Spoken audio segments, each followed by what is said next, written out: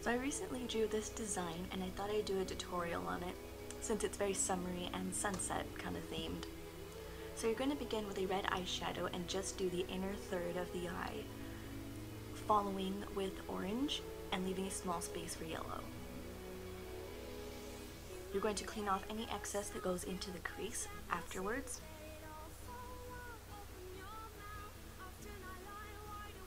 And with a purple pencil, you're going to lightly line it, the crease, and soften it up with a shadow that is the same color as the pencil.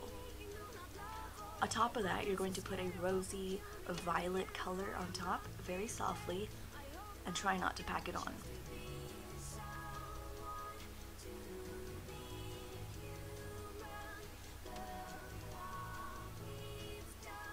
Then with a sky blue pencil, you're going to line the bottom part of your eyelashes and leaving a small space at the very corner of it.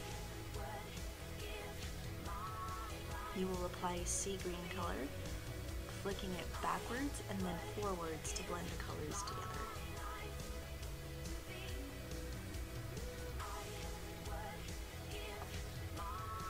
Then you're going to line your waterline with black eyeliner to intensify the look.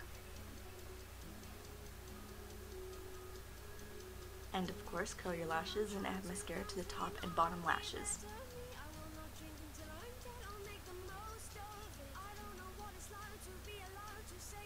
And this is the final look. Thank you so much for watching. I hope you subscribe and check out my vlog channel. Bye! Music by Ellie Goulding, Human.